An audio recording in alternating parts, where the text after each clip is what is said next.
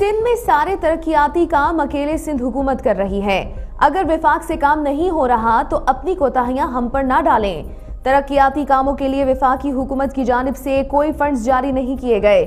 मुराद अली शाह की विफाक पर तनकीद, बोले तीन साल में कराची में मेगा स्कीमें मुकम्मल की हैं। विफाक ने सिंध के पैसे रोककर नाइंसाफी की।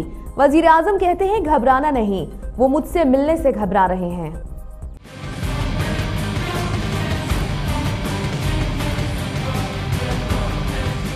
जिन्होंने कहा कि जी, पाकिस्तान पीपुल्स पार्टी या मुराद अली शाह या सिंध हुकूमत काम नहीं कर सकती, हमें भी नहीं करने दे रही। तो भाई, हमने तो ये काम किया है, अपनी कोताहियाँ, अपनी कमजोरियाँ हमारे गले ना डाले। आपसे काम नहीं होगा, ये तो मुझे बहुत पहले से पता है।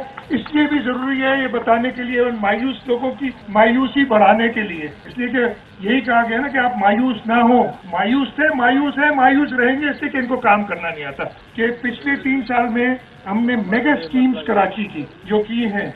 ये सारे काम अगर सिंध हुकूमत कर रही है, और सारी रिसोर्सेज होने के बावजूद, इस बावजूद कि वो हमें अपने पूरा हिस्सा नहीं दे रहे कलेक्शन ही नहीं कर रहे, और हमारे दोस्तों को चोर कह रहे हैं, जबकि सारी कमाई इधर से ले जाते हैं, सिंध से ले जाते हैं, और इधर खर्च करने के लिए उनके पास कुछ नहीं है। और उस, उन्हें एक घबराए हुए शख्स ने कहा कि घबराना नहीं है, इनसे डरो नहीं। तो ये ज़रूरी है उन मायूस लोगों की मायूसी बढ़ाने के लिए।